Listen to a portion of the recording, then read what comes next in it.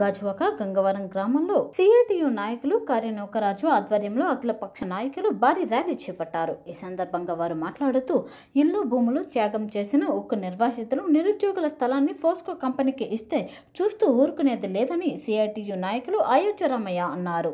అఖిలపక్ష కార్మికులు ఈ నెల ఎనిమిదవ తేదీన చేపట్టిన సమ్మెకు టీడీపీ పార్టీ పూర్తి మద్దతు ప్రకటించిందని తెలిపారు. ఇప్పటికైనా కేంద్ర ప్రభుత్వం కళ్ళు తెరుచుకుని ఆసియాలోనే పేరు పొందిన రాష్ట్రీయ ఇషాత్ నిగమ్ లిమిటెడ్ విశాఖపట్నం స్టీల్ ప్లాంట్ని రక్షించి ప్రభుత్వ రంగ సంస్థగా కొనసాగించాలని డిమాండ్ చేశారు. లేకుంటే ఆందోళన తీవ్రతరం చేస్తామని హెచ్చరించారు. ఈ కార్యక్రమంలో కొవిరి అవతారం దొమ్మేటి అప్పారావు వెంకటరమణ కారి నౌకరాజు తదితరులు పాల్గొన్నారు. ఎనిమిదవ తేదీ సమ్మెని విశాఖపట్నం కార్మికులందరూ జయప్రదం చేయాలి సమ్మెలో పాల్గొవాలి. విశాఖ ఉక్కు ఆంధ్రలోకి నినాదంతో ముప్పై రెండు మంది ప్రాణత్యాగాల పోరాట ఫలితంగా అభివృద్ధించిన విశాఖపట్నం స్టీల్ ప్లాంట్ నవరత్న మినిరత్న మహాభరితుడి బిద్దులు గల సంపాదించుకున్నటువంటి Visakhapatnam steel plant.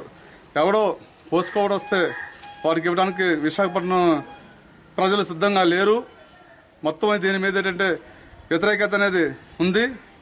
అట్లాంటిటువంటి Visakhapatnam steel ప్లాంట్లో పోసుకోవాడు వచ్చేటట్లయితే ఈరోజు ముప్పై రెండు మంది ప్రాణ త్యాగాల పోరాట ఫలితంగా ఆవిర్భవించిన విశాఖపట్నం స్టీల్ ప్లాంట్ని ఈరోజు విశాఖపట్నం విశాఖపట్నం వాస్తవేలే కాదు ఆంధ్ర రాష్ట్రం మొత్తం అంతా యావత్తు ఆ రోజు ముప్పై రెండు మంది ప్రాణత్యాగాలు చేశారు.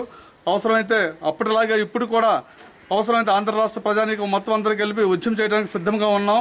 అట్లాగే ఈరోజు కాబోయే ఇప్పుడు జరగబోయే సమ్మెలో మీరు ఎనిమిదో తేదీ జరగబోయే సమ్మెలో పార్టిసిపేట్ చేస్తారని కోరుకుంటున్నాం. ప్రజలారా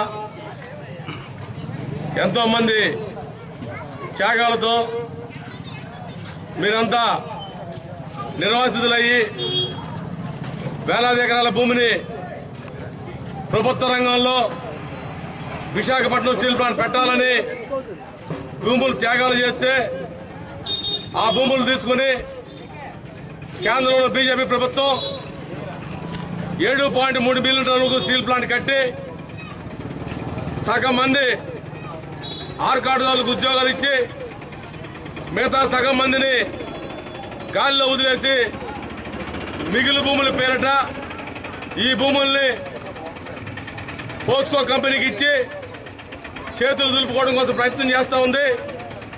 దీనికి వ్యతిరేకంగా రేపు ఎనిమిదో తారీఖున దేశవ్యాప్త సమ్మెలో భాగంగా విశాఖపట్నం స్టీల్ ప్లాంట్లో ముప్పై వేల మంది కాంట్రాక్ట్ కార్మికులు పర్మనెంట్ ఉద్యోగులు సమ్మె చేయబోతా ఉన్నారు.